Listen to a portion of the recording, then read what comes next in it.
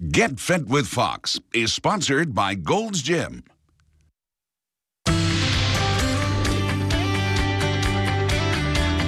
If you are looking for a great workout that you complete at home, our fitness expert might be able to help you. Patty Butrim from Gold's Gym is joining us with some tips for this week's Get Fit with Fox. And you brought more and equipment. I, brought, I did. I brought a barbell Yep. today. Um, a lot of times when you think of barbells, you think of the big 45 pound ones, but what you might not know is we have a bunch of little guys as well. Uh, this is only 20 pounds. Okay. Um, so I'm going to show you a couple exercises today that target some muscles you may overlook in your workout. So I'm going to do curls just like I would the standard bicep curls, but my hands are facing the other way. This way, I'm actually hitting my forearms as I do these curls as well. Something you don't think about. I was going to say, do you work them just so that they can be as strong and complement Yes, the rest so of your arms? Because you're not trying to build muscle there necessarily. Well, you are, and you're also working on your grip strength this Okay, way, yeah. way as well. So this is going to help you with those bigger weights. Everyone wants to grab those big weights, Yeah. but you need to focus sometimes on those smaller muscles as well. that's a good point. So we're doing those for those forearms and the grip strength. Yep. Also, something you might not think of is you can hit your chest with one of these little barbells. You don't need to be on a bench or anything like that.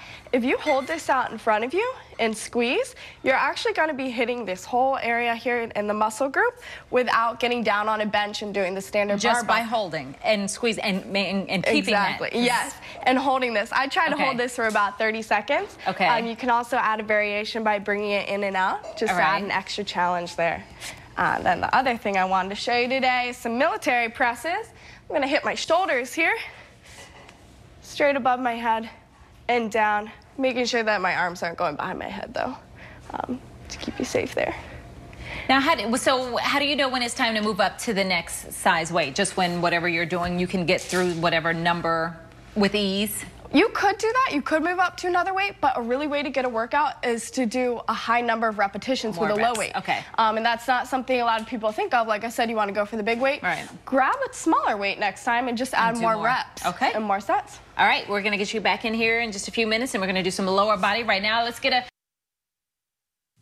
Get Fit with Fox is sponsored by Gold's Gym.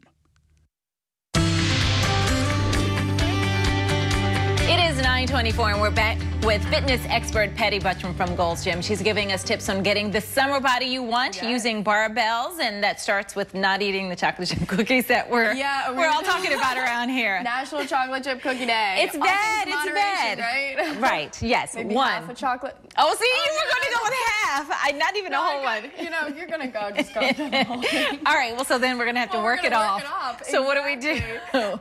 I'm actually gonna uh, show you something for the hamstrings and glutes first. These are called Okay. good mornings. When you have this lighter barbell, the thing you can do is just put it right behind your head, nice and easy. Uh, working off those cookies, I'm gonna lean forward, activating my hamstrings and pull up. It's Okay. also hitting that lower back as well. No bent, no bent knees. So the knees are just slightly bent just to make sure that I'm not hurting myself by Not locking- hyperextending right. them. Exactly, so I don't pass out.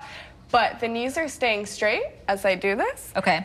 Then another thing that I'm gonna go into is calf raises. And you can actually just hold this right in front of you. Sometimes we forget about those calves.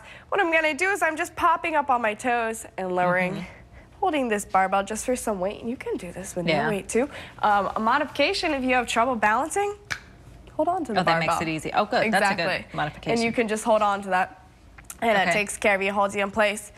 Um, one more thing I did want to show you is we talked about using lighter weights as opposed to the heavier ones.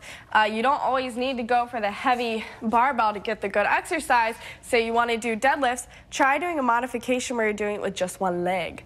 So as I'm going down, I'm balancing. Obviously, I'm probably not going to do this with the 300 pound Right. deadlift that I would normally do.